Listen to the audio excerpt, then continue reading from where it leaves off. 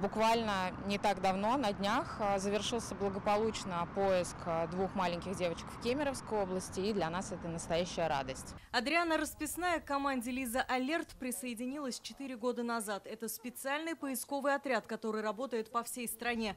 В прошлом году от родителей поступило 161 заявление. 158 детей удалось найти живыми, трое погибли. В 2023 поступило сейчас 66 заявок, из них а, один ребенок, к сожалению, погиб. Три заявки а, – это родные найдены, когда происходит обратный поиск. Мы нашли ребенка, ищем его родителей.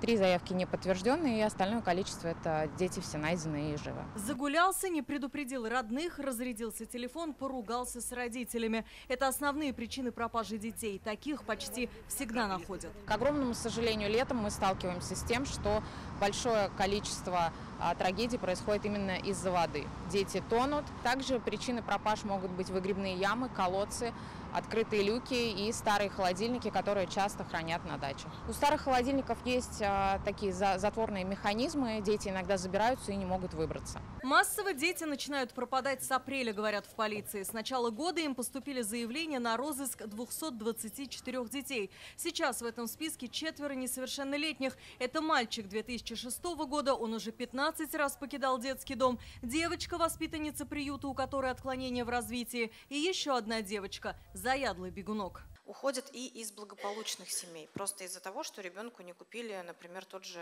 я не знаю, iPad ну, то есть это человек, который вседозволенность определенная, то есть опять же родители откупаются от ребенка, то есть не уделяют, может быть, лишние пять минут своего времени, зато у него есть вот это, вот это, вот это и вот это. И когда он не, получает очередную свою хотелку, то, естественно, возникает конфликт, и он просто может на зло родителям взять и уйти. Сейчас детей находят быстрее. В 95% случаев в первые 10 суток. На сегодня в Татарстане 484 без вести пропавших. Это и взрослые, и дети. По 190 93 фактам возбуждены уголовные дела. Еще с 90-х годов в розыске остаются 18 ребят. Ну, в основном это дети, э, которых разыскивают, э, скажем, родители, которые находятся в разводе. Как правило, с тем, кто находится ребенок, с матерью или с отцом, они просто скрывают и не говорят о своем местохождении.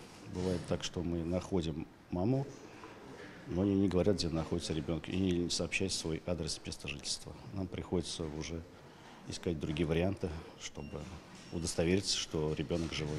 Более 10 лет, по словам правоохранителей, в республике не фиксируют случаи похищения детей. Последние были в Закамье в 96-м. Мы решили спросить у казанцев, готовят ли они своих детей к встрече с незнакомцами. Предупреждала, чтобы если, допустим, машина останавливается какая-то или чужие люди там, допустим, э, как-то обращаются, говорит, давай довезем, чтобы, ну, как говорится, предупреждала, чтобы ребенок знал, что не подходить. Говорю, чтобы не разговаривали шли дальше.